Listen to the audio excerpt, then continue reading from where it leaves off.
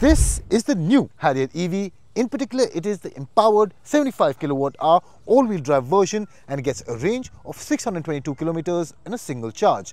Today, we're going to be doing a informal range test along with a first impressions review. If you look at the exterior design, well, not much has changed. In terms of styling, you get a closed off grille, you get 19 inch aero style alloy wheels at the side. These also really catch the eye and basically increase its road presence. You get EV badging on the side and EV badging at the back, which are your indication that this is not your regular Harrier. Inside, the name of the game is styling and features. In terms of interior design, you get dual tone interiors in the empowered, fearless and adventure models and you get an all black interior in the stealth versions. Overall, I think it's quite a good looking ambience. In terms of features, you get a 10 inch instrument cluster, 14 inch infotainment system, panoramic sunroof, electric rear view mirror, JBL sound system, off-road modes, ride modes, wireless charging and everything that you can think of.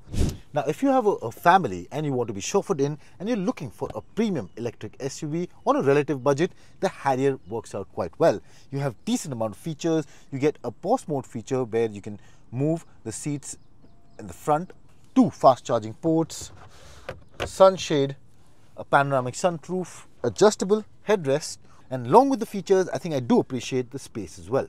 So finally, ladies and gentlemen, we've started driving and well, I told you about design, I told you about features. Unfortunately, I do have some bad news. We have lost some range. Now, when we started, it was at 99% and the range it told me was 487.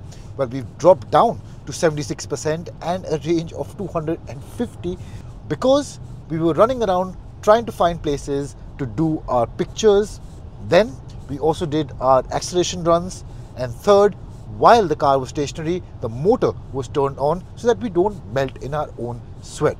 Basically take this as the worst case scenario in order to do a range test but should give you an idea of how this performs. It's time for our second update and we've driven 82 kilometers since the start of the day.